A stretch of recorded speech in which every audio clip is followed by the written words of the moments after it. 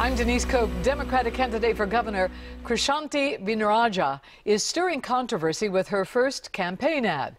In it, she is breastfeeding her infant daughter. The ad emphasizes a need for more mothers and women in state leadership. Vignarajah is the only woman running for governor in Maryland. She told our media partner, the Baltimore Sun, she is prepared for critics of her ad, but embraces she is the only woman in the race. The Democratic primary is June 26th.